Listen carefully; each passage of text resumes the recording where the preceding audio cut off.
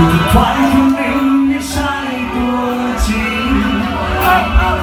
cứ không trả cắn